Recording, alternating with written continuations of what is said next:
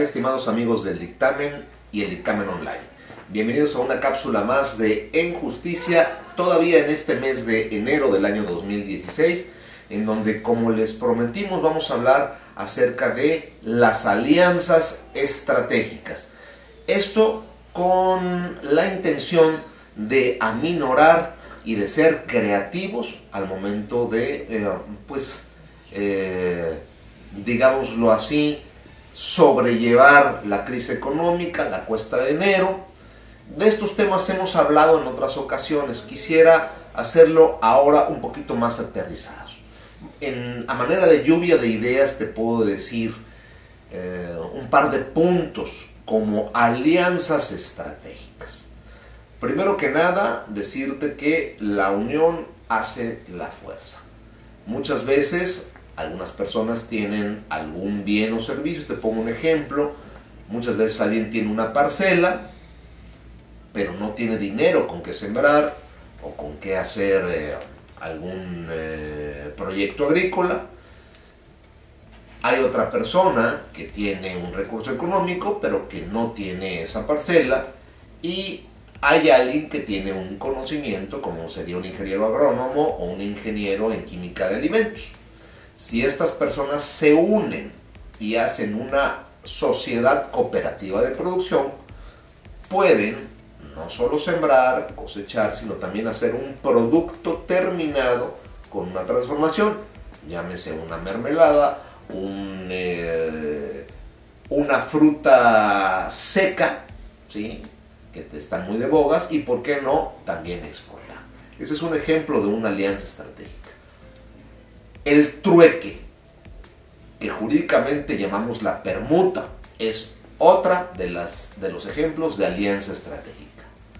Se trata de que no paremos con nuestra economía, de que tú sigas vendiendo tu servicio, tú sigas proporcionando tus bienes y de alguna forma el que la economía no se detenga y siga girando. Te voy a poner un ejemplo llega una persona con el abogado, con el contador, con el dentista, con el médico, con el profesionista que ustedes quieran. Le dice, señor, necesito este servicio, pero no tengo en estos momentos dinero. Bueno, invariablemente del crédito que se puede dar, existe la dación en pago. Decirte, mira, no tengo dinero, pero tengo este pequeño cochecito que está ya viejo, que debe tenencias, etcétera, etcétera, se le asigna un valor y de esta manera va girando. Otro ejemplo, muy burdo, pero sirve.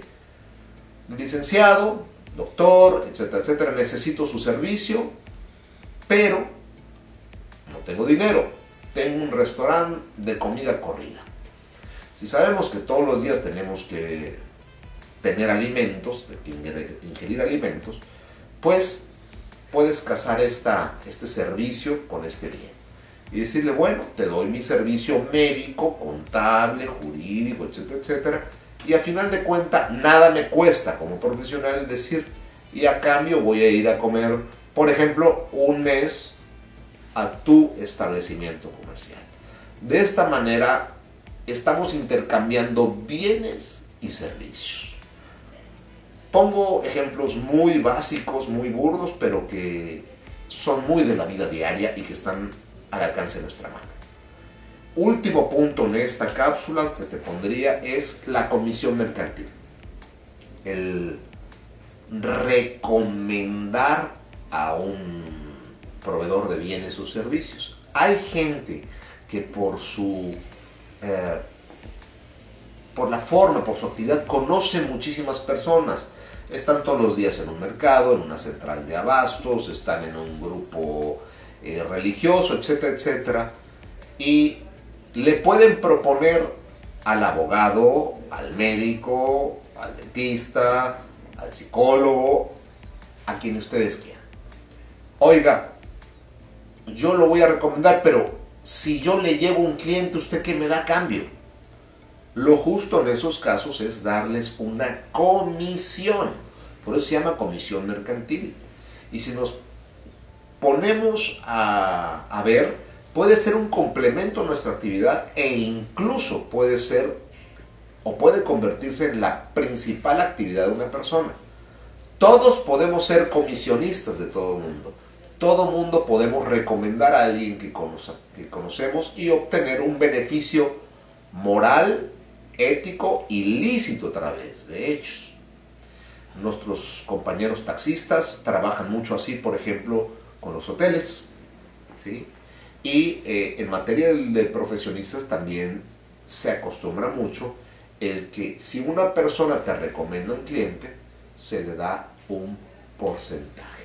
Entonces, con estos tres puntos muy concretos que estamos tocando hoy en esta plática de justicia, va dirigido al mercado más doméstico para ayudarles a darles ideas creativas. No estamos inventando el hilo negro, ¿sí? ni el agua tibia, pero sí te estamos poniendo a la mano opciones que puedes tomar inmediatamente. Así que espero hayan sido de tu utilidad y recuerda, la unión hace la fuerza y asesorados vamos a encontrar un camino en este difícil enero de 2016. Muchas gracias.